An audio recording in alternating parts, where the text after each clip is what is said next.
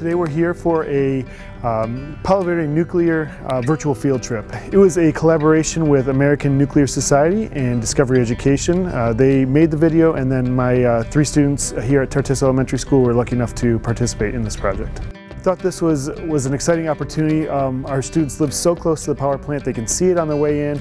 Um, they have parents or, or, relatives who work there, but never get a chance to really see what goes on there and, and might not really understand what goes on there. Today we showed the virtual field trip Navigating Nuclear. Um, I got an opportunity to work with Discovery Education and American Nuclear Society and film that. I explained how a nuclear power plant works and then I worked with some of the chief science officers from Tartesso Elementary in the video. And then we came out to the school and we showed it to the kids. My name is Aubrey. My name is Lincoln. And I'm Ben. When we filmed it, I was like, okay, this is okay. And then when I heard that we're gonna do it in front of our entire school, then I was like scary, except I also did really have a lot of fun.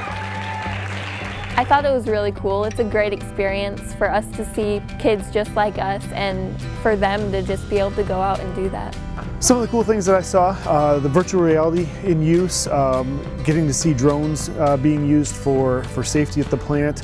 Um, as a technology integration specialist, I get to uh, teach my kids a lot of things with, uh, with robotics and uh, app development, and it's just really cool to, to get to see how some of those uh, applications are applied in, in, real life. Well, I think the virtual field trips are a really unique experience. Um, you know, not every state or city has a nuclear power plant or anything like that, and so to get this into all these classrooms and show kids about nuclear is something I'm very passionate about and I think it's a really great way to educate students about STEM in general and how we can have a sustainable future. I think that it really just gets people's attention because it's not just, you're not just sitting down in the classroom listening to your teacher talk or doing a worksheet or something. You really get to be involved and learn in a different way.